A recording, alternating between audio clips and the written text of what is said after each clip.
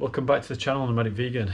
It's uh, it's been a, uh, a, bit of time since I last posted, but I'm hoping that's all going to change today because I'm at the airport and uh, I'm out of here.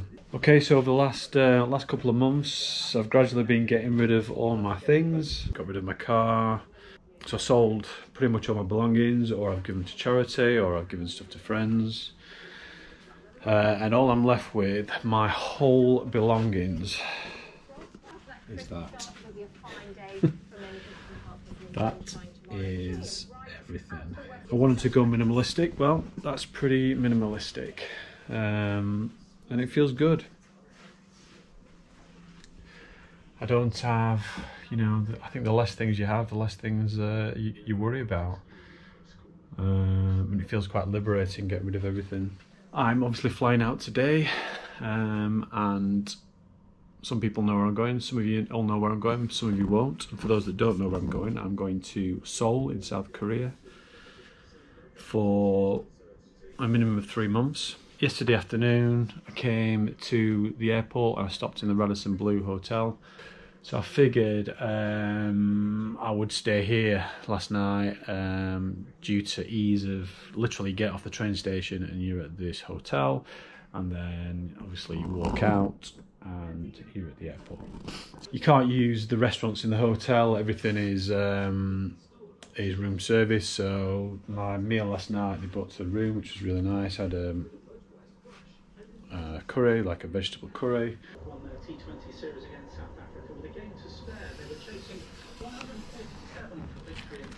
Uh, this morning breakfast was brought to me at 7 this morning and I had um, um, some toast and some hash browns, beans, mushrooms, coffee.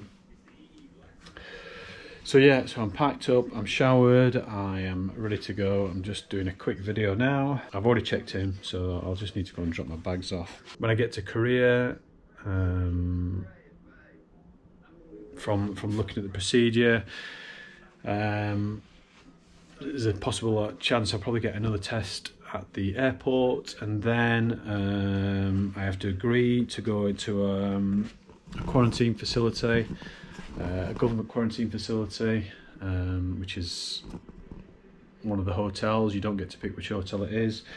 The hotel will be at my cost and then I'll be taken to my quarantine hotel where the 14 days will start the next day where I will be confined to my room for the whole 14 days.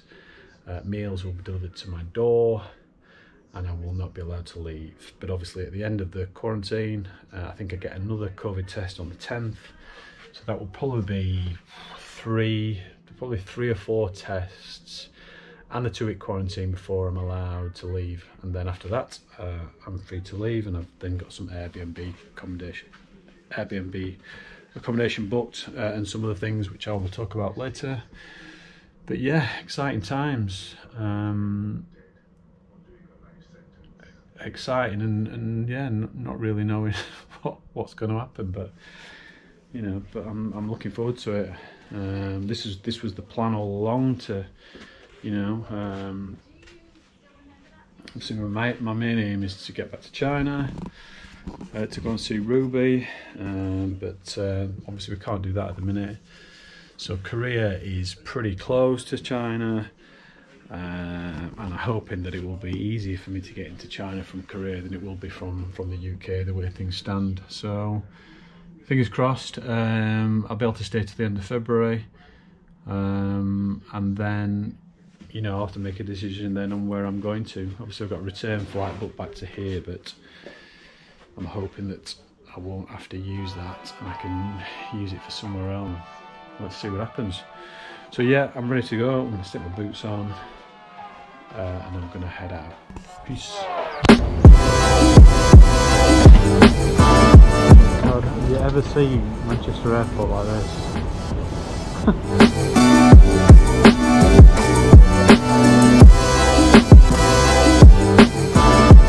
ghost town.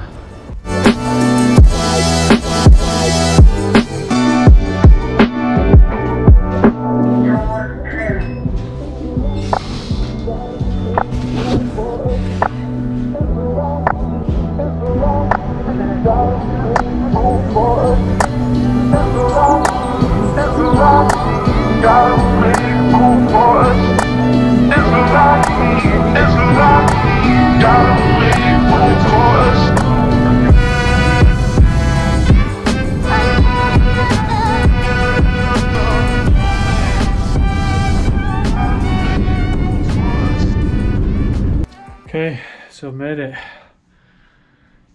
South Korea, Seoul, the Marina Bay Hotel, which is going to be my. This is the government quarantine facility, which I'm going to have to stay here for in this room. I can't leave this room now for 14 days from tomorrow. So this is it. This is my room, which I've had to pay for. I'm not sure exactly how much it was. I'll have to check the receipt, uh, check the conversion. Um, but I'll do that tomorrow. I'm absolutely knackered. Um, in fact, I don't even know I've got this mask on. I've had this mask on for 24 hours. Well, not this particular one. I have changed it over a few times, but oh man, wearing a mask for 24 hours, and the only time you can take it off is um, when you're eating on the plane. This is the bathroom. That's quite, quite nice.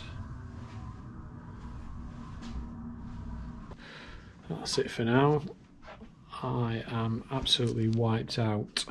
Um, you know, people complaining that they have to wear a mask to go shopping. Well, you want to try wearing it for 24 hours. The bands around the back of my, my ears are just sore from having those bands around the back of my ears. Not pleasant. Right, okay, so I will speak later. Peace.